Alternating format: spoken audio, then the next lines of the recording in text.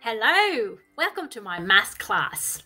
Hey, Miss Yen, why do perpendicular lines have opposite reciprocal gradients? Hmm, well, perpendicular lines have to have opposite directions. Think about it.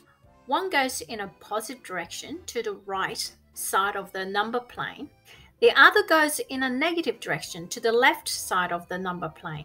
Let's prove that two lines meet at 90 degrees. First, draw two lines with gradients 4 over 2 and negative 2 over 4, like the diagram.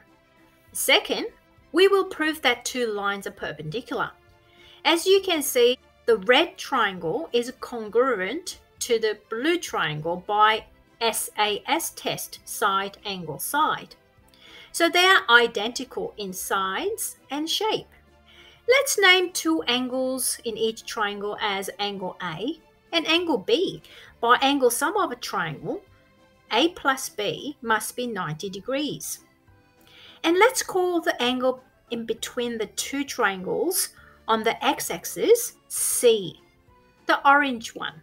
Angle on the straight line is 180 degrees. So when you add three angles, A, B, and C, it must be 180 degrees. And we know that sum of A and B is 90 degrees, so C must be 90.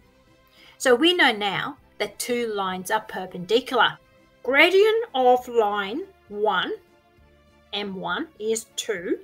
Gradient of line 2, M2 is negative half, which is a negative reciprocal of 2, as a reciprocal of 2 is half. When we look at product of two gradients, m1 times m2 is 2 times negative half, which is negative 1. From negative half, well, we can tell negative means its opposite direction. Half is 1 over 2, which is a reciprocal of 2. So for perpendicular lines, their gradients must be opposite.